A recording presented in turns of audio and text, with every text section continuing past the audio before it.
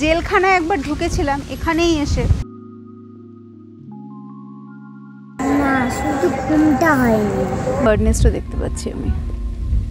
এইটা একটা মূর্তিতে চড়ানো হয় আর এইটা তুলসীমালা তুলসীমালা অন্য মূর্তিতে চড়ানো হয়। আচ্ছা ওই যে ইন্ডিয়ান রবিন দেখেছ? এই যে ইন্ডিয়ান রবিন মানে খেয়ে দিয়ে কাজ না থাকলে যা হয়।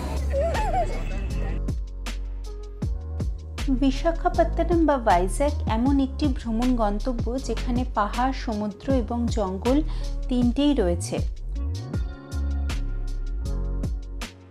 এছাড়াও আছে শহরের মধ্যে বিভিন্ন পার্ক, মিউজিয়াম ইত্যাদি।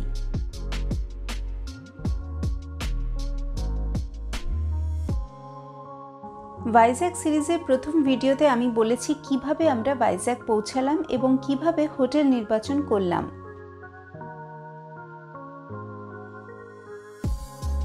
বলেছি এখানে কি কি সাইট সিং করা যায়। যদি ভিডিওটি না দেখে থাকেন, তাহলে ডেসক্রিপশনে এবং আই বাটনে দিয়েছি তার লিঙ্ক ভাইজাকের এই দ্বিতীয় ভিডিওতে আমি বলব ভাইজাক শহরে আমরা কোথায় কোথায় সাইট সিং করেছিলাম সেই গল্প।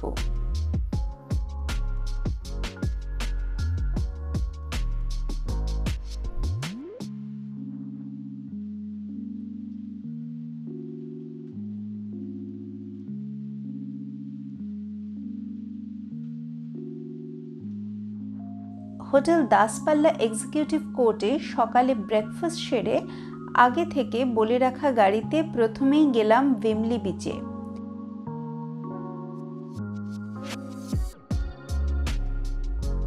অপূর্ব সুন্দর এই সি বিচে একটু গাছের তলায় ছায়া দেখে সারাদিন বসে থাকা যায় যেন।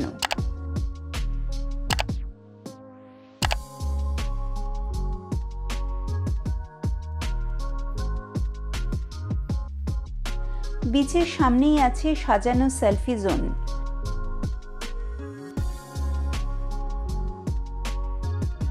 ভীষণ পরিষ্কার, পরিচ্ছন্ন এই সি বিচে অনেকে স্নান করছেন বা সমুদ্রের সাথে খেলায় মেতেছেন।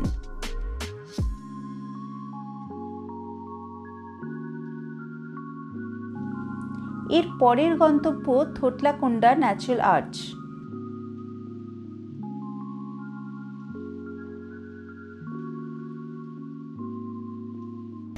এখন আছি থোটলাকোন্ডা থোটলাকোন্ডার যে রিলিজিয়াস পার্টটা রয়েছে সেটাতে পরে যাচ্ছি। আগে এখানে এসেছি ন্যাচারাল আর্ক দেখতে। সমুদ্র সৃষ্ট ভূমিরূপের একটি দারুণ উদাহরণ এই আর্চ।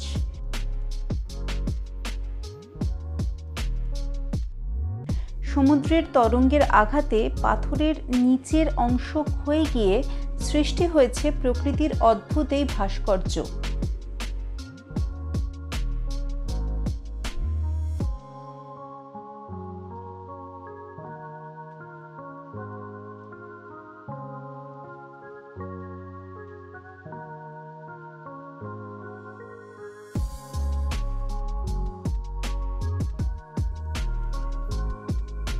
প্রাচীন ভারতের প্রত্নতাত্ত্বিক নিদর্শনের মধ্যে অন্যতম হল থোটলাকোন্ডা বৌদ্ধ বিহার।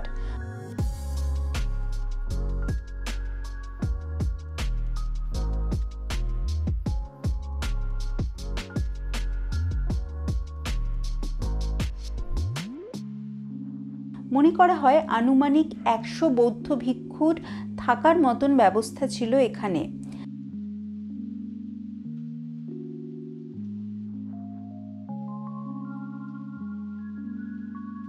দূরদেশ থেকে সমুদ্র পেরিয়ে বৌদ্ধ শ্রমণরা আসতেন এখানে।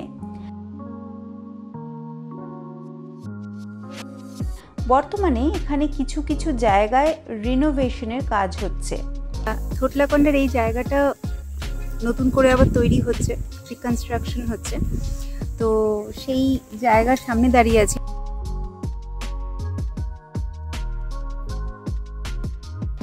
দু হাজার বছর আগেকার এই ঐতিহাসিক স্থান ঘুরতে মন্দ লাগে না।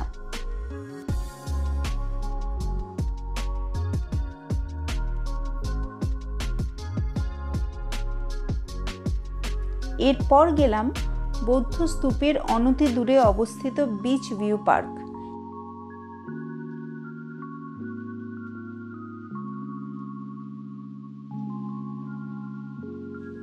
ওপর থেকে ছবির মতন সুন্দর ভাইজাকের সি বিচ দেখা যায়।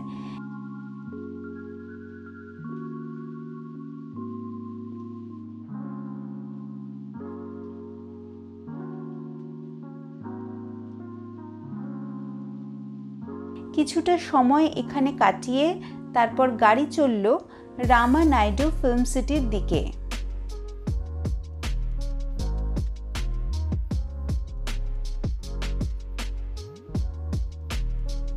সিনেমার শুটিংয়ের জন্য সাজানো একটি গোটা শহর। নকল বাড়ি, নকল পুলিশ স্টেশন, নকল জেলখানা সব কিছু আছে এই নকল শহরে।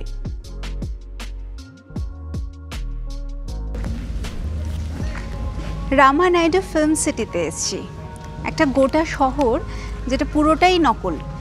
মানে এই রাস্তা দিয়ে হাঁটলে মনে হয় যে সত্যিই হয়তো কোনো একটা হাউজিং কমপ্লেক্স টাইপের কোথাও চলে এসেছি। কিন্তু আদতেই তা নয়। মানে প্রত্যেকটা বাড়ি, প্রত্যেকটা ওই মোড়, পাড়ার গলি হসপিটালস মেডিসিন শপ সমস্ত কিছু নকল।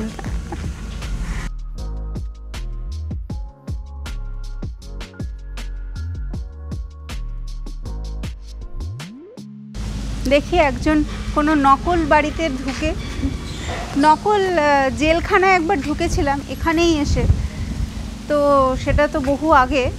দেখা যাক।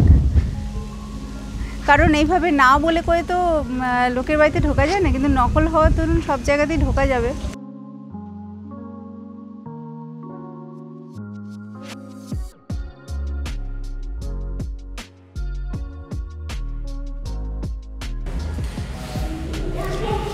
তো আমরা সারাদিন পরে ক্লান্ত হয়ে আমরা এখন জেলে ঢুকে পড়ছি। যা যা খেয়ে দিয়ে কাজ না থাকলে যা হয় হ্যাঁ? সারাদিন রোদের মধ্যে ঘুরে এখন লকআপে ঢোকা প্র্যাকটিস করছি। হ্যাঁ।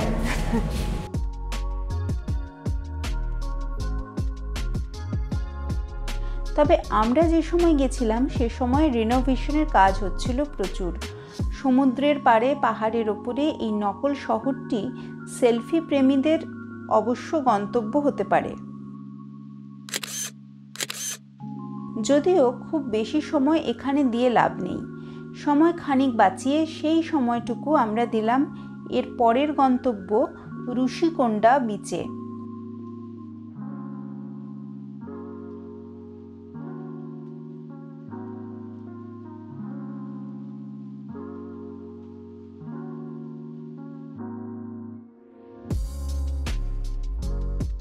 ভাইজ্যাকের সবকটি সি বিচই সুন্দর। আর সুন্দর, তীব্র গর্জন করে ছুটে আসা বিশালাকার ঢেউ।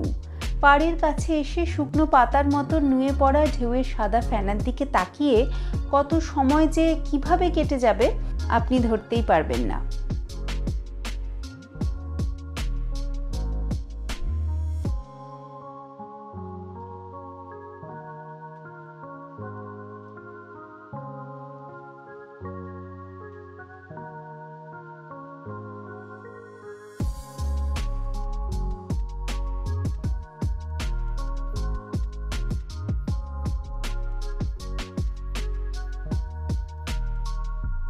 ভাইজ্যাক জুড়ে ছড়ানো আছে অনেকগুলি park. VUDA park, central park, beach view park ইত্যাদি। এছাড়াও আছে ছবির মতন সুন্দর টেনেটি পার্ক।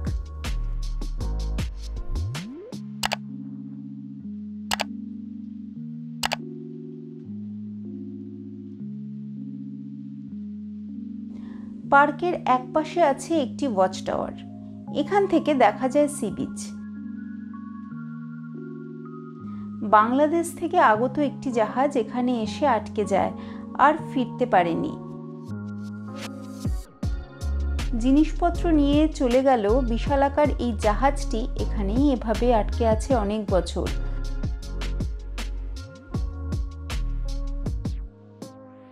ছবি তোলা এবং পরন্ত বিকেলে কিছুটা সময় কাটানোর জন্য এই টেনেটি পার্ক খুবই আদর্শ জায়গা।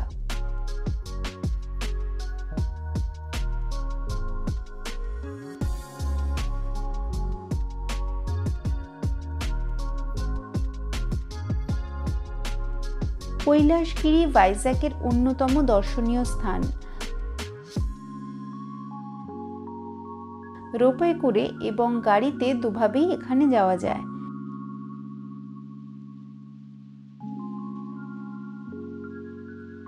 রোপওয়ে করে পাহাড়ের মাথায় উঠে সেখান থেকে পায়ে হেঁটে ঘুরে নেওয়া যায় এই পার্ক। পার্কের মধ্যমণি বিশালাকৃতির শিব পার্বতীর মূর্তি। চারপাশে আছে প্রচুর ফুলের গাছ।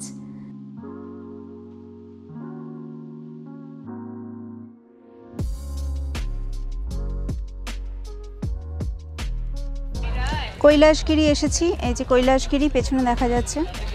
হুম শিব ঠাকুর আর দুর্গার এই মূর্তি। এটা একটা খুব ইম্পর্ট্যান্ট প্লেস এখানে। ফুল আছে প্রচুর, তাই বাটারফ্লাইজ রয়েছে। বাটারফ্লাইজের ছবি দেখাবো।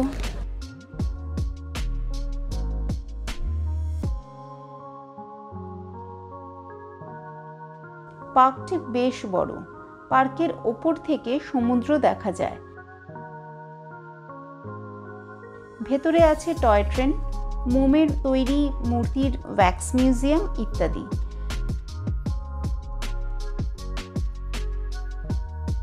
পার্কটি ভালোভাবে ঘুরে দেখতে দেড় দুই ঘণ্টা মতন সময় লাগে।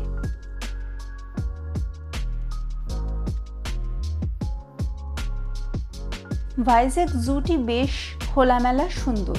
জন্তুগুলিও খুব স্বাস্থ্যবান, প্রাণচঞ্চল।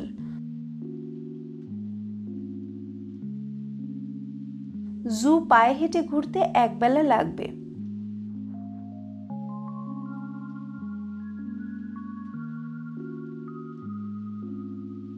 আর উল্টো দিকে কোম্বালাকোন্ডা ওয়াইল্ড লাইফ স্যাঞ্চুয়ারি। এটিও একবেলা লাগবে ঘুরতে। ভাইজ্যাক সিরিজের তৃতীয় ভিডিওতে শোনাবো এর বিস্তারিত গল্প। এই দিন এই পর্যন্ত ঘুরে আমরা সন্ধে হয়ে যাওয়ায় হোটেলে ফিরে এসেছিলাম। আজকে এত টায়ার্ড ছিলাম, আমি আজকে রুম সার্ভিস বলেছি। এবার রুম সার্ভিস তো দিয়ে গেছে। এটা ফ্রাইড রাইস আচ্ছা ওই যেটা বাচ্চার জন্য বলেছিলাম একটা লেস স্পাইসি ওটা দিয়েছে? ও আচ্ছা হ্যাঁ এইটা, ওটা।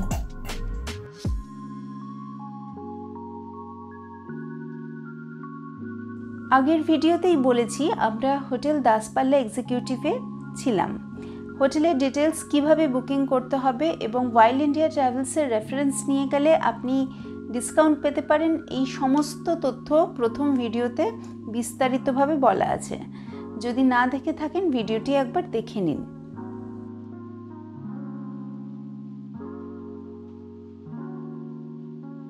দ্বিতীয় দিন সকাল থেকেই শুরু হয়ে গেল আমাদের ভাইজ্যাক ভ্রমণের দ্বিতীয় পর্ব।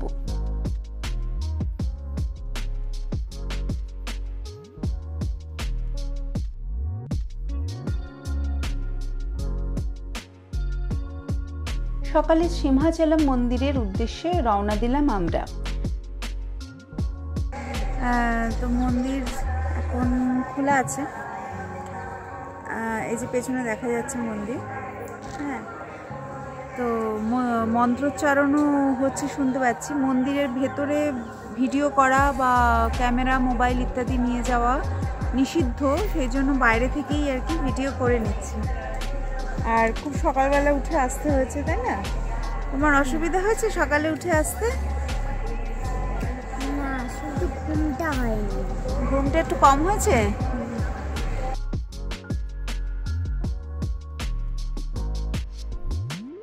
সারা ভারতবর্ষে বিষ্ণু মন্দির আছে খুবই কম।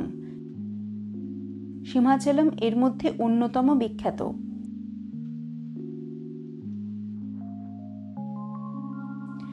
ভক্ত প্রহ্লাদ এবং ভগবান বিষ্ণুর নৃসিংহ অবতারের পৌরাণিক কাহিনী মনে আছে নিশ্চয়ই। এই মন্দিরে বিষ্ণুর সেই নৃসিংহ অবতারের রূপের পুজো হয়।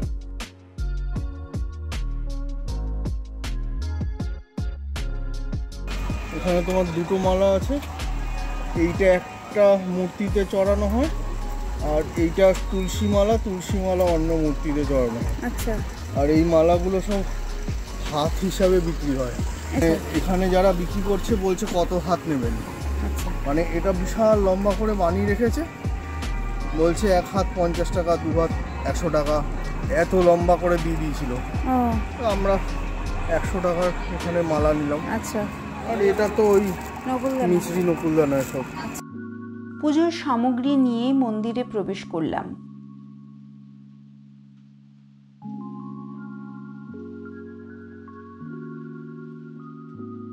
মন্দিরের ভেতরে ছবি নেওয়া নিষেধ। ভেতরে ঢোকার জন্য ফ্রিতে এবং টাকা দিয়ে টিকিট কেটে দেবদর্শনের বন্দোবস্ত আছে। পুজোর পর প্রসাদ নিয়ে আলাদা টিকিট কেটে বিষ্ণুর প্রাচীন সোনার গহনা প্রদর্শনী দেখে মন্দির থেকে বার হলাম।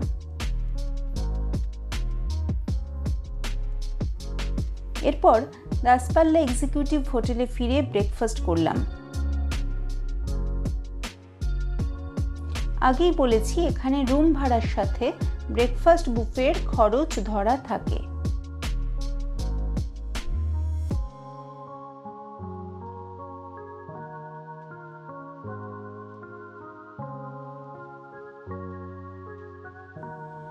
ভাইজ্যাকের জনপ্রিয়তম সি বিচ হল R K beach.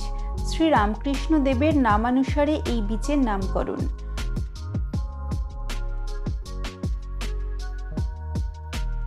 বীজগুলি এত প্রসারিত যে যতই ভিড় থাকুক, কিছুতেই পুরী বা দীঘার মতন ক্রাউডেড ফিল হবে না।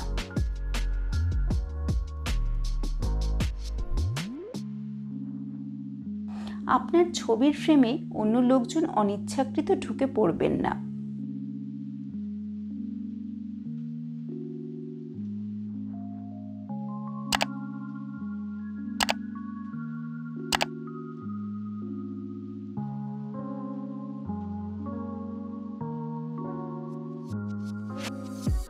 আরকে বিচের উল্টো দিকে বিখ্যাত কালীমায়ের মন্দির।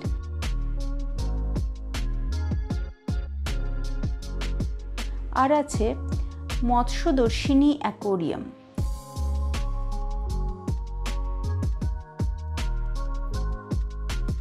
বিশাল বিশাল সামুদ্রিক মাছ এবং মিষ্টি জলের মাছের সংগ্রহশালা এটি।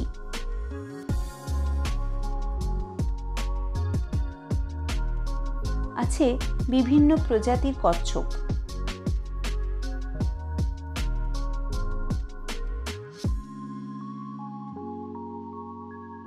বাচ্চাদের তো ভালো লাগবেই, বড়দেরও ভালো লাগবে এই অ্যাকোরিয়াম। অনতি দূরেই আছে বিশাখা মিউজিয়াম।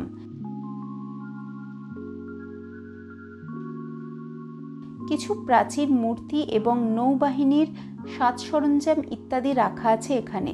মোটামুটি এক ঘন্টায় ঘুরে নেওয়া যায় এই সবকটি জায়গা।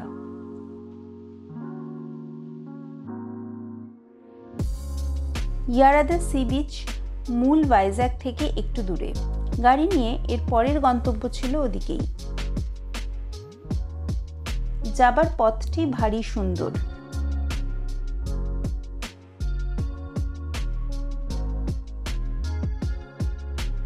ইয়ারাদা সি বিচে বরাবরই একটু কম মানুষ যান, কারণ হয়তো এর দূরত্ব।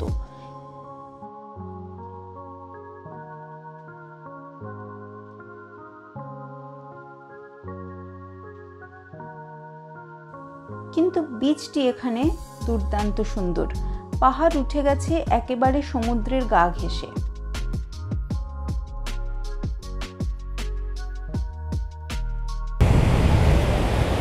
আমরা এখন এসে গেছি ইয়ারাডা বিচে ইয়ারাডা বিচ এই যে পেছনে, দেখা যাচ্ছে। ইয়ারাডা বিচ আমি ন বছর আগে এসে শুনেছিলাম যে এটা লেস পপুলার একটা বিচ লোকজন কম আসে, কিন্তু খুব সুন্দর। তো এখনও আর কি সেই জিনিসটা রয়েছে। এখনও আর কি আমি শুনলাম যে লোকজন কম আসে। তখন কেউই আসতো না। মানে পুরো বিচটা জুড়ে আমার মনে আছে যে আমরা, আমরাই দুজনই ছিলাম। কেউ ছিল না।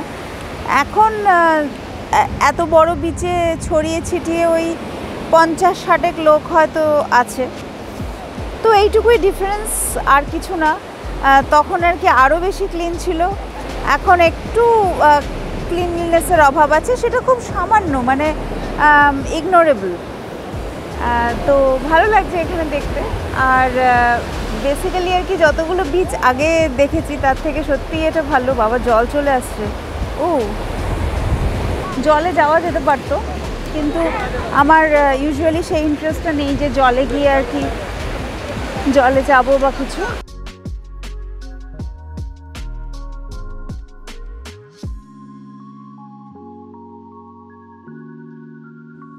বিচে কিছু সময় কাটিয়ে ফেরার পথে লাইট হাউস দেখে ফেরা যায়, যদিও এখন কোভিডের কারণে বন্ধ আছে শুনেছিলাম।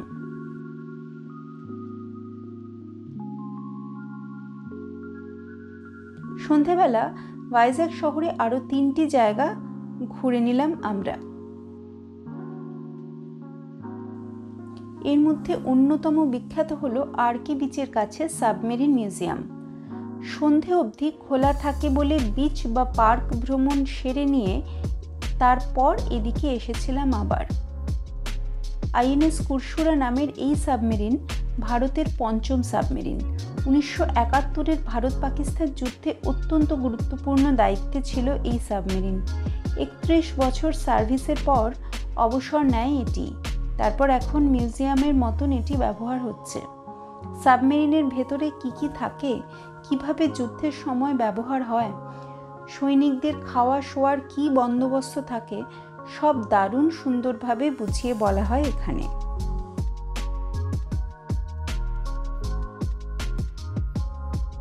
এর উল্টো দিকে আছে ফাইটার ফ্লাইট মিউজিয়াম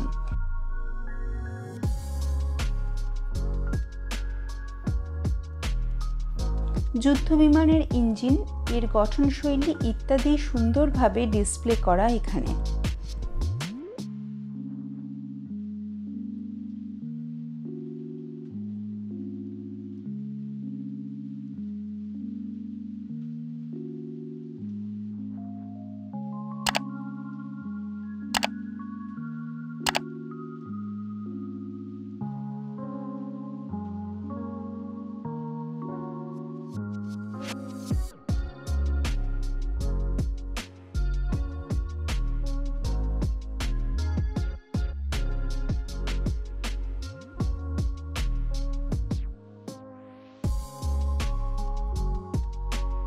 এই দুটি দেখে সোজা চলে গেলাম সেন্ট্রাল পার্ক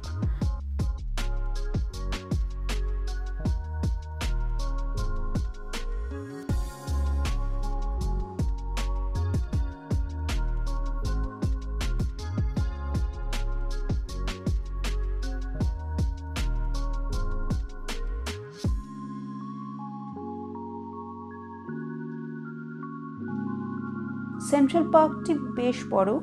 এবং ঘুরে দেখতে ঘণ্টা দেড়েক মতন সময় লাগে।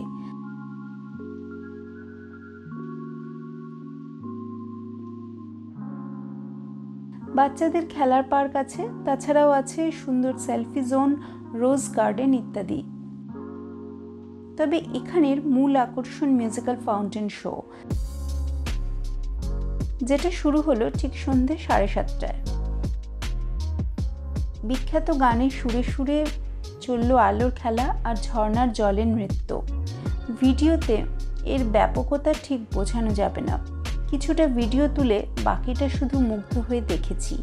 ইন্ডিয়ার মধ্যে সেকেন্ড লার্জেস্ট এই শো গুড়ি গুড়ি জলের ছাটে ভিজে গেছিলাম আমরা, কিন্তু ওভারঅল এক্সপিরিয়েন্স অসামান্য।